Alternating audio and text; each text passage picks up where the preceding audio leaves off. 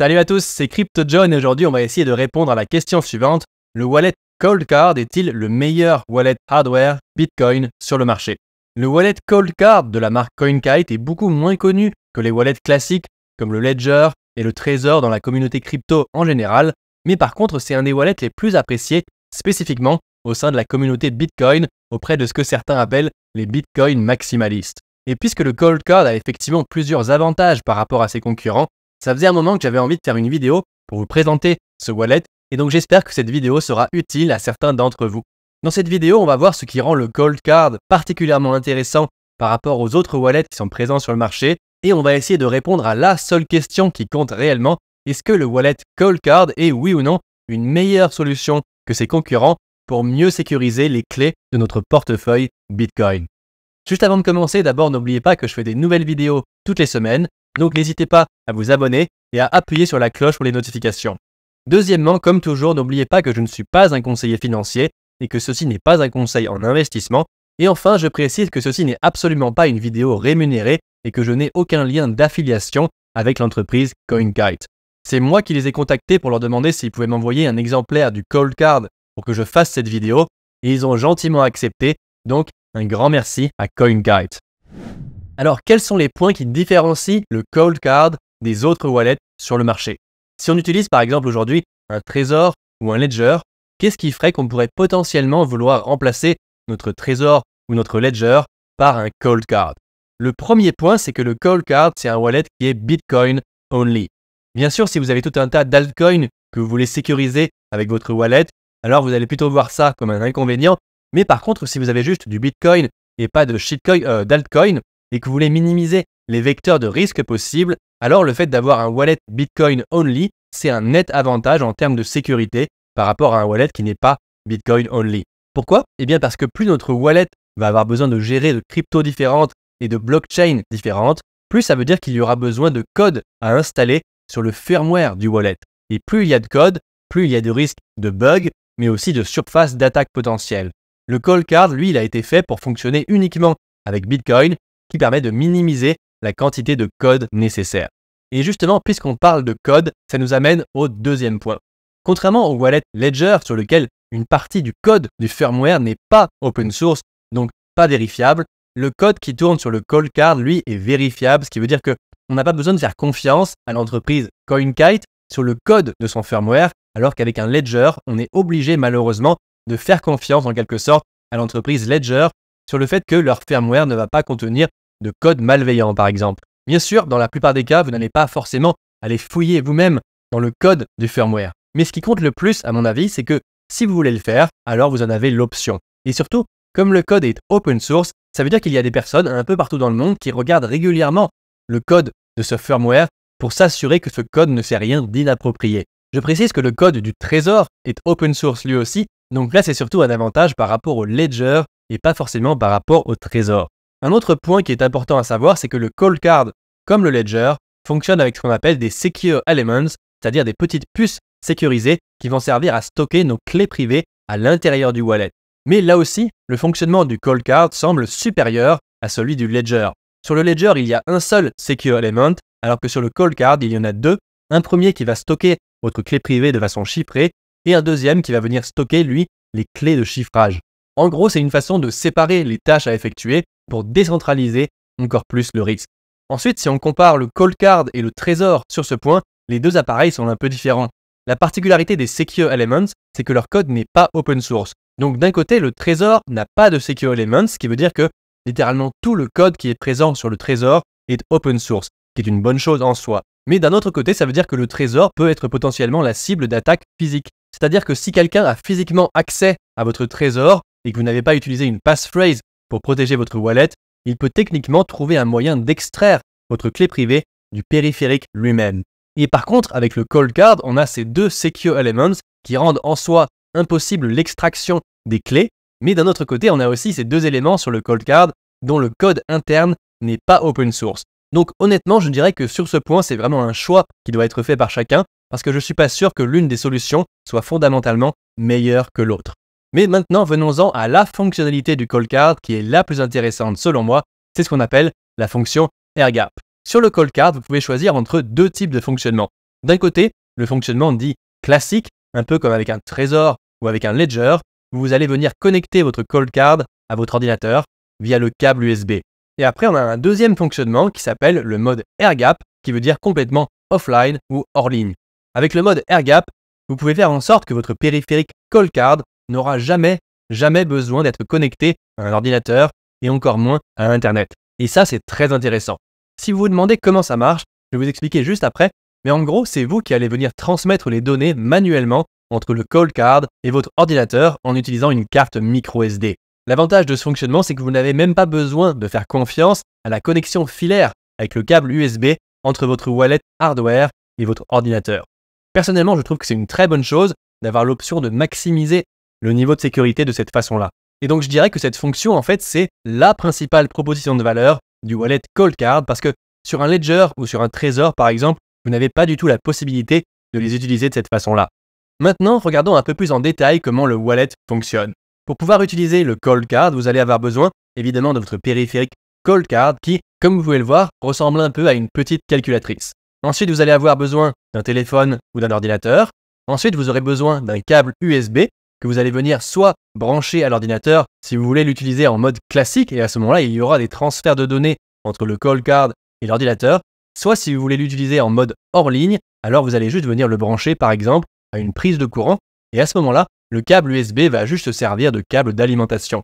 Ensuite, vous allez avoir besoin d'un logiciel compatible que vous allez installer sur votre ordinateur et qui va faire l'interface entre votre call card et le réseau Bitcoin. Il y a pas mal de logiciels compatibles comme Electrum, Wasabi, Spectre. Personnellement, j'aime bien Sparrow Wallet qui est open source et qui a l'air de fonctionner très bien.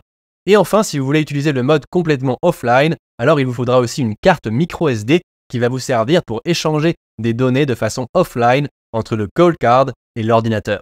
Maintenant, voyons rapidement les étapes pour créer son portefeuille Bitcoin sur le wallet Call Card et le connecter au wallet Sparrow.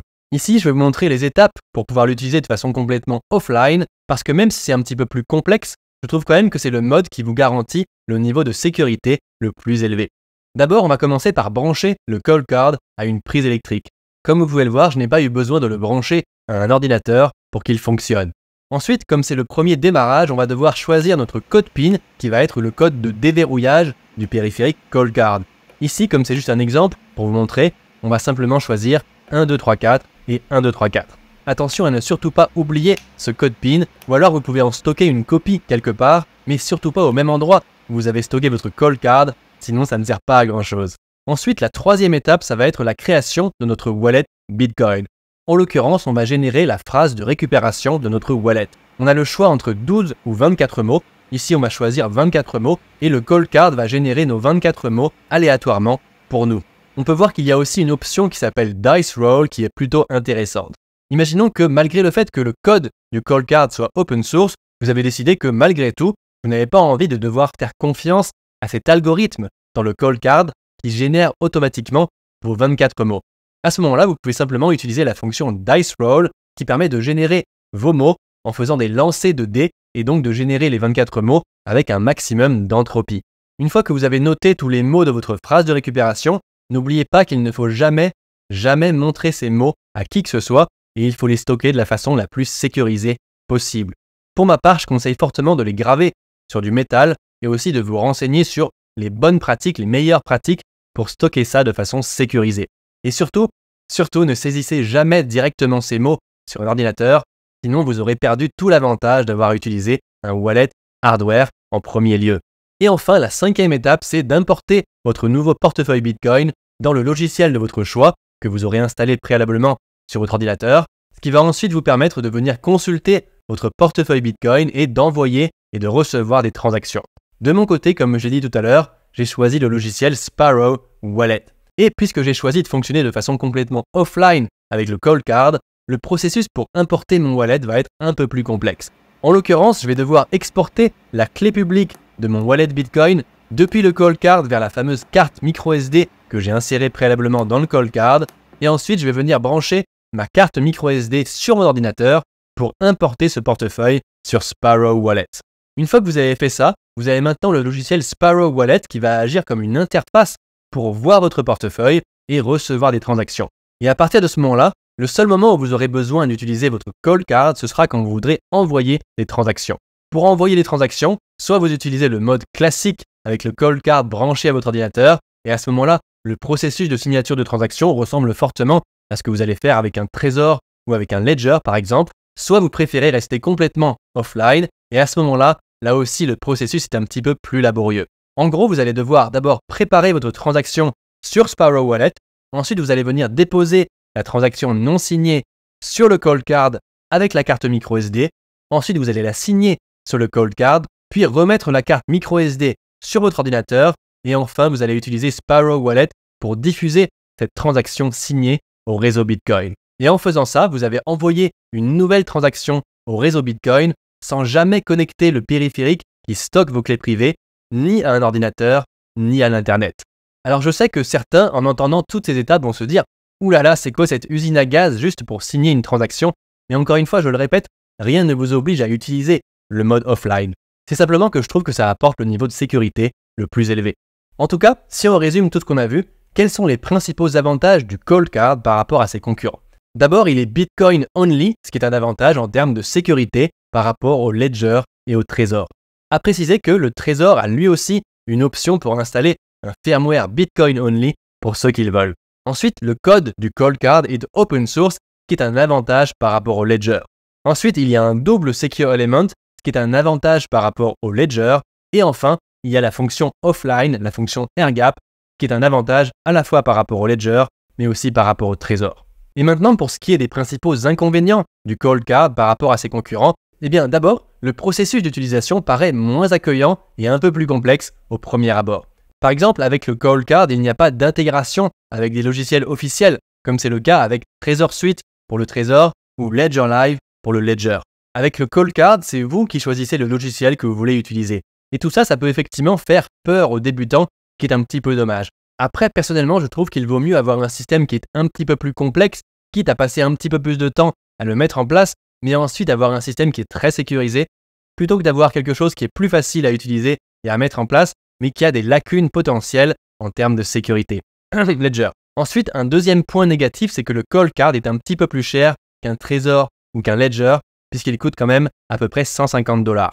Et enfin, si vous voulez utiliser le Cold Card en mode complètement offline, eh bien comme vous avez pu le constater, le processus pour envoyer des transactions est beaucoup plus laborieux. Mais après évidemment, ça reste un choix à faire en fonction de la situation de chacun. Si on a par exemple qu'une petite quantité de Bitcoin à stocker, eh bien peut-être que ça ne vaut pas le coup de s'embêter avec le mode offline. Mais par contre, si vous commencez à en avoir un montant qui représente une quantité d'argent significative pour vous, et que vous voulez stocker par exemple du Bitcoin pour le long terme, alors je trouve que le jeu en vaut la chandelle. En résumé, est-ce que le Cold Card est une solution plus sécurisée qu'un Ledger ou qu'un Trésor? À mon avis, oui. Si on prend en compte tout ce qu'on a dit et qu'on veut stocker du Bitcoin de la façon la plus sécurisée possible, alors il me semble que le Cold Card est une solution de sécurisation plus complète que celle de ses concurrents. Après, comme le prix est un petit peu plus cher, je pense que la bonne question à se poser c'est la suivante. Est-ce que vous voulez spécifiquement un wallet qui vous permet de fonctionner de façon complètement offline, hors ligne?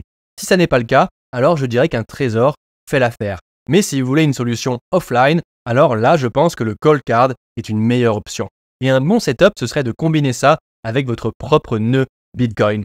Si vous combinez un Cold Card utilisé de façon offline, un logiciel sérieux comme Sparrow Wallet et que vous connectez ça à votre propre nœud Bitcoin, je trouve qu'avec ces trois éléments, alors vous avez un système complet qui vous permet d'utiliser le réseau Bitcoin avec un bon niveau de sécurité, de souveraineté et de confidentialité.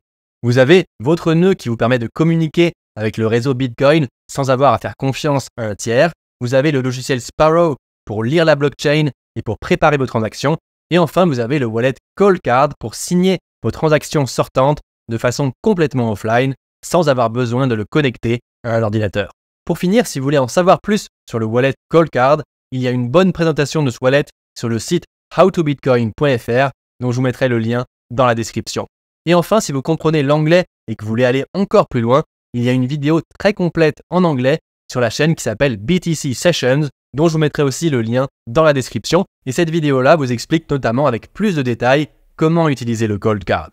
Voilà, c'est tout pour aujourd'hui. J'espère que cette vidéo vous a plu. N'hésitez pas à me donner votre avis dans les commentaires. Et merci encore à CoinKite de m'avoir gentiment envoyé un exemplaire du Cold Card pour que je puisse faire cette vidéo. Si vous voulez que je fasse des vidéos de test pour d'autres wallets, dites-le moi aussi dans les commentaires. D'ailleurs, le mois prochain, je prévois de faire une vidéo sur un autre wallet Bitcoin qui me semble être aussi une option intéressante, le Blockstream Jade. Si la vidéo vous a plu, je vous remercierai de bien vouloir exploser le bouton j'aime pour m'aider avec l'algorithme YouTube. Et enfin, n'oubliez pas que je fais des nouvelles vidéos toutes les semaines, donc n'hésitez pas à vous abonner et à appuyer sur la cloche pour les notifications. Merci d'avoir suivi la vidéo, passez une très bonne journée et à bientôt.